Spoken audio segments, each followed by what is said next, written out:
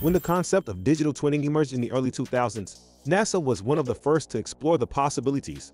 However, some argued that the first digital twin was decades earlier. Restart? I don't know what it was. Okay. Uh, Houston, we've had a problem.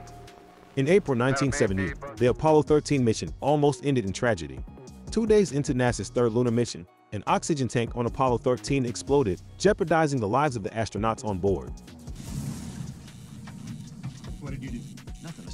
Though the crew never made it to the moon, their lives were spared thanks to NASA's control team, who used what many consider the first application of digital twin technology.